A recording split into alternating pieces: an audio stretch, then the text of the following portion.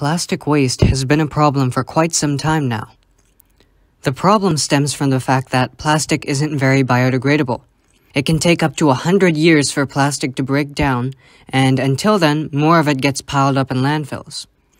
At first, plastic was an important part of everyday life due to its convenience. But today, it's become a threat to the climate. Polyethylene terephthalate, or PET for short, has the following chemical formula C10H8O4. And as the prefix poly suggests, many structures like the one shown are connected to form PET. PET is one of the most common forms of plastic. Crystallized PET can be used for harder materials such as plastic containers. While it is possible to recycle this plastic and remold it into new forms of plastic, the quality will go down. While there can be other forms of plastic, PET is the one that is taking up the most space in landfills.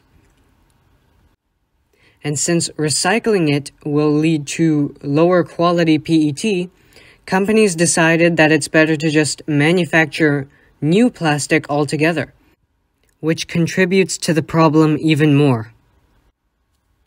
The biggest issue here is that plastic takes too long to decompose.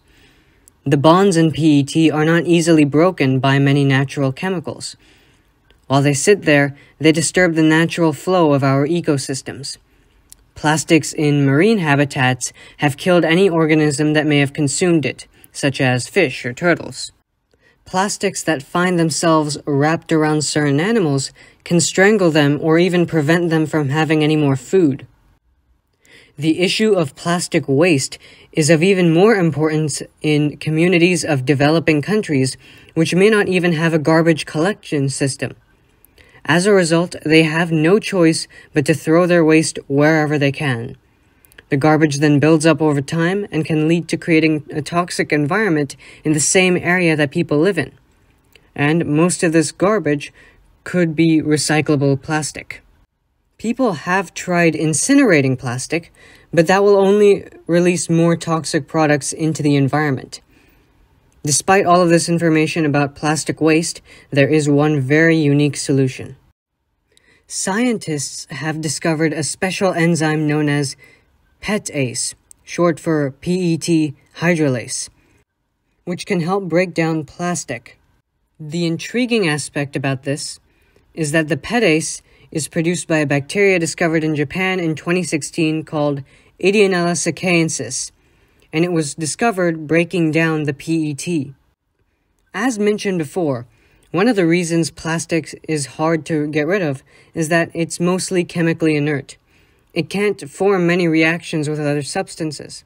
While exposure to the elements may help break the plastic into smaller pieces, it doesn't actually separate the bonds within the plastic. Most chemical reactions won't work because they'd leave the structure of PET unbalanced. In fact, this is the very reason plastic is so widely used.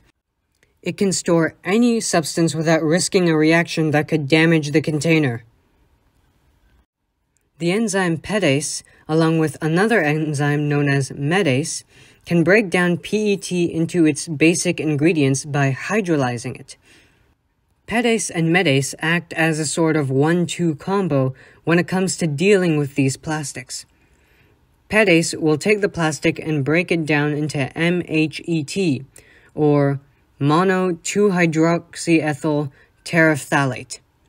Then the MHETase will break that down further into terephthalic acid and ethylene glycol. Terephthalic acid and ethylene glycol are the basic building blocks of PET. With these products, one can manufacture more PET, meaning PETase and MHETase are able to completely recycle PET in a way that it can be manufactured and used again without risking its quality. However, one downside is these enzymes aren't currently in use, at least not at a large scale. Scientists are still working on genetically engineering the enzymes and bacteria to work faster in their consumption of plastics. But when this does become a possible solution, It will allow us to recycle PET in a way that doesn't reduce its quality. This solution allows us to continue being able to reap the benefits of plastic while also dealing with the major pollution that it can cause. In order for this method to move forward, companies will have to step up in allowing research into PETase and MHETase to continue. They'd also have to look into how this factors into the economy. And that's where Carbios comes in. Carbios is a French company that plans on using these enzymes to make PET fully recyclable. In fact, their slogan is Enzymes Powering the Circular Economy. In this case, circular economy refers to the fact that the enzyme will make PET fully recyclable and reusable. In 2020, they managed to create PET bottles out of textile waste, and they're working with companies like Pepsi and L'Oreal to achieve this goal of circular plastic economy. With such partners by their side, Carbios could help push the importance of using PETase and MHETase to create fully recyclable plastic that can help save the environment. To make things even better, they've actually made progress in their mission. They held a demonstration in which they took 2 metric tons of PET and broke them down into their monomers in just hours. Their technology can actually follow through with their goals. Another thing to keep in mind, however, is that they'll need a way to make sure they can have enough funding to continue these experiments and projects. According to their business development plan, Carbios will have two methods of making their profits that play into the strategy of cleaning up plastic pollution. Firstly, there's licensing of recycling technology meaning other companies will gain the rights to manufacture and sell these technologies while having to pay a royalty to Carbios. Secondly, they will be gaining some recurring revenue through the sale of enzymes, which simply means they'll sell some of the enzymes that they produce. To conclude, there were many obstacles preventing proper recycling of plastics. The fact that they lose quality when traditionally recycled means that it would be easier and cheaper to just manufacture more of it.